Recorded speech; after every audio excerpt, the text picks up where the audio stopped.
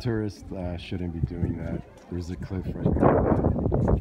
This used to be full of water. There was a swimming pool. Walking over that. There's a cliff right behind that.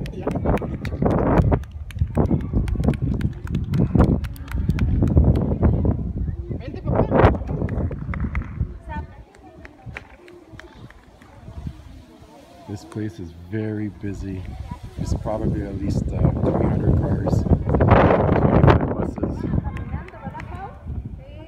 But we're in the top. You gotta walk down like a couple kilometers.